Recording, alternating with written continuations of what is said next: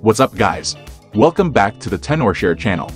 When you are trying to update your iPhone to the latest iOS 16 over the air, you might see a pop-up that says Unable to Verify Update and suggests you check your network.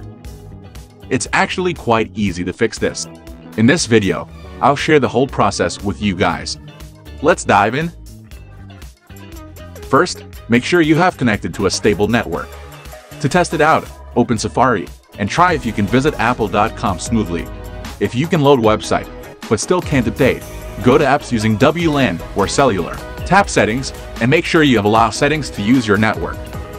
If you still need help, turn off Wi-Fi and update your phone using cellular data instead. A more powerful way to fix the network is to reset network settings. In general, transfer or reset iPhone, tap reset, and then reset network settings. Be sure you have your Wi-Fi password ready. Reconnect to it and try again after the phone boots up. If the issue persists, go to General, iPhone Storage, scroll down and tap the iOS firmware. Then go ahead and delete it. Then download iOS 16 from scratch. To make these changes take full effect, let's give the phone a force restart. Press and quickly release the volume up button. Press and quickly release the volume down button. Then press and hold side button let it go when you see the Apple logo. If you still can't update wirelessly, try using iTunes on a computer. Once connect your phone, go to your device summary page, then go ahead and hit the update button to proceed.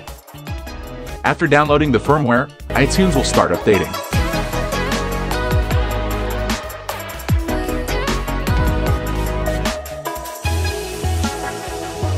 Well done! iTunes has updated your iPhone to iOS 16 successfully.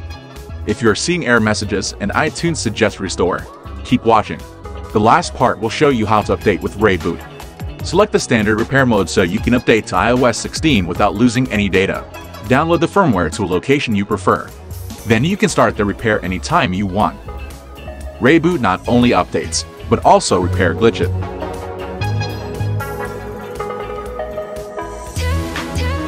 Well done! It says your iPhone has been updated to iOS 16. If you go to Settings, General, About, you will see the software version is iOS 16 now.